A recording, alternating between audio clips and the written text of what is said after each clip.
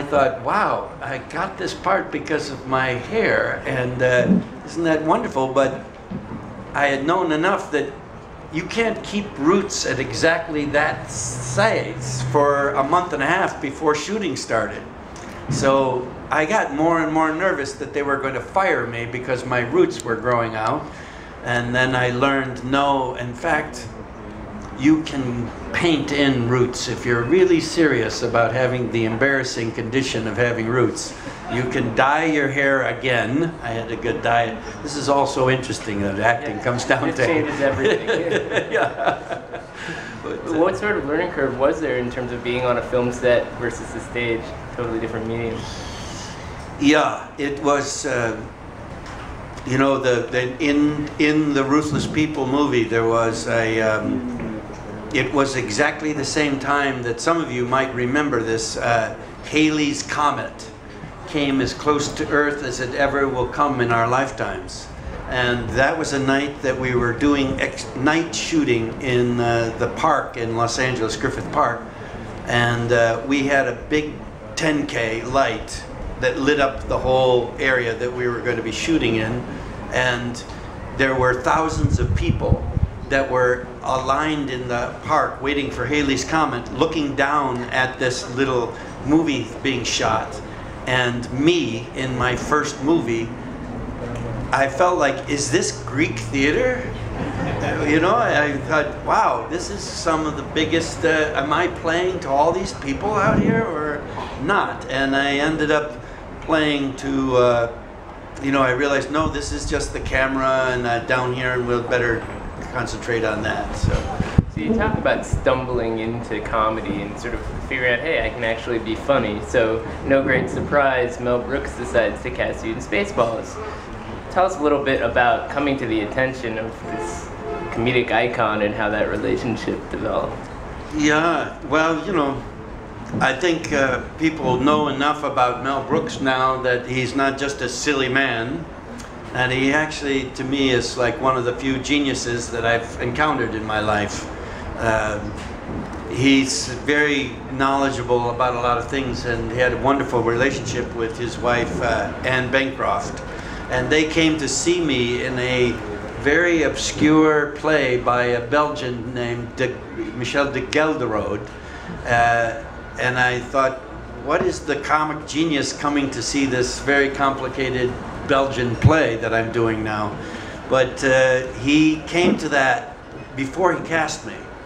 So he knew that uh, he was interested in me and then uh, came to see a piece of theater and decided to cast me from that. Uh, So let's get into Spaceballs because here we have a movie in which you aren't exactly playing an existing character, but you are riffing on an existing character. What were some of the performative challenges of tackling material like that?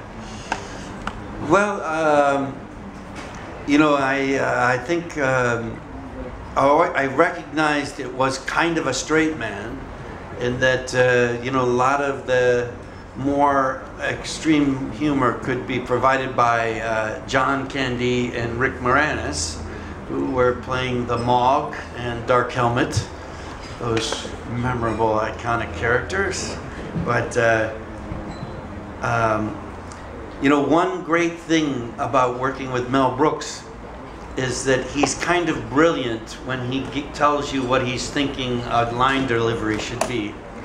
And uh, one of my favorites would be always when he would show Daphne Zuniga what it was like to be a Druish princess, because there's a big Druish princess inside of Mel. And uh, but with me, he would say, you know, uh, I would do this line for you, Bill, but you're a goy, and uh, I, I'm a Jew, and uh, you, I don't know how to do goy.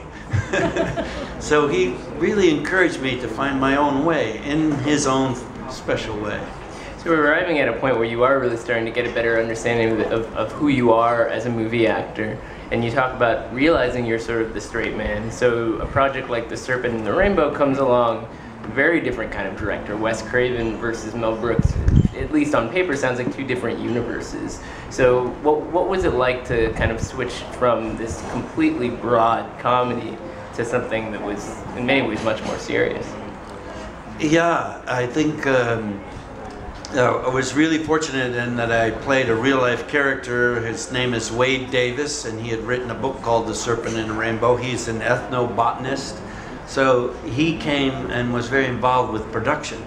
So to, to me, it felt like doing a documentary more than it felt like doing a, a fictional narrative horror picture, which it kind of was.